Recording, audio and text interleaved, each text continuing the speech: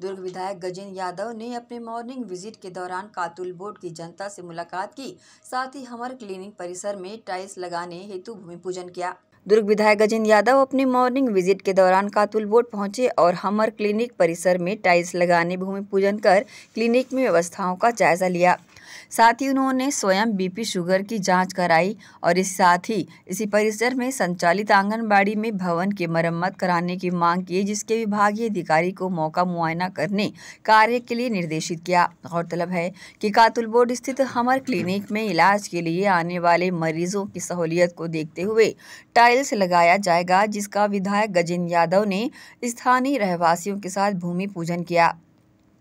इस दौरान उन्होंने अस्पताल का निरीक्षण कर दवाइयों की उपलब्धता व इलाज हेतु संसाधन की जानकारियाँ ली। विधायक ने कातुल बोर्ड की जनता से मुलाकात कर वार्ड की समस्याओं को जाना और उसके त्वरित निराकरण के लिए निर्देश दिए। एसीएन न्यूज़ के लिए दुर्ग से नसीम फारूकी की रिपोर्ट।